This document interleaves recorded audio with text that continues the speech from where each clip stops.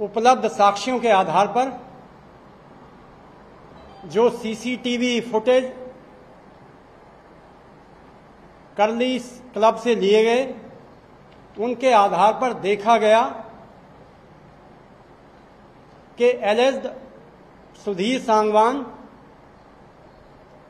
और उसका एसोसिएट सुखविंदर सिंह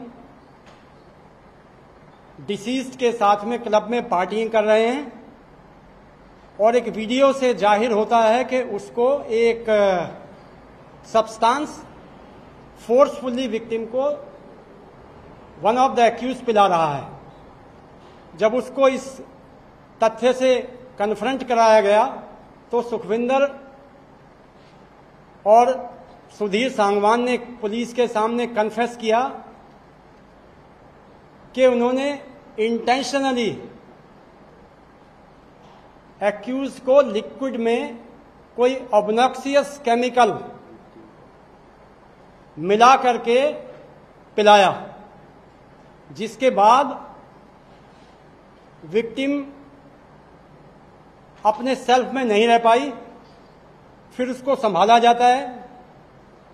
और दूसरे शॉट में भी दिया, देखा कि उसको लिक्विड में कुछ पिलाया जा रहा है।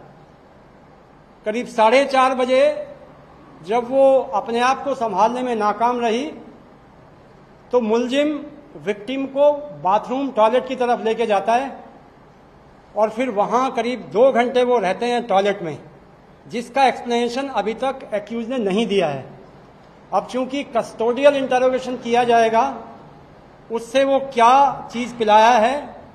कहाँ पर उसने फेंका है, ये सब बात की बातें हैं।